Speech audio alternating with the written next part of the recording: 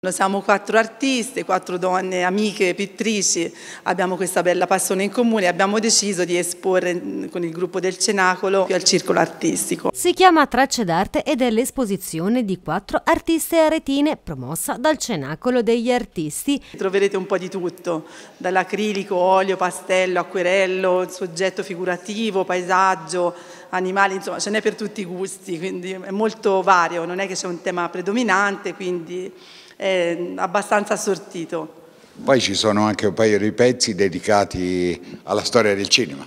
Anche quelli sì, perché era una mostra che avevamo fatto sempre con il Cenacolo degli Artisti Aretini a settembre, quindi troverete anche qualcosa inerente appunto al cinema. In esposizione al Circolo Artistico di Arezzo sino a mercoledì 7 giugno la mostra di Monia Casalini, Laura Polverini, Silvia Peruzzi e Laura Gatteschi. I fiori mi piacciono anche perché fanno comunque parte della natura e fanno parte della, della mia vita come gli animali.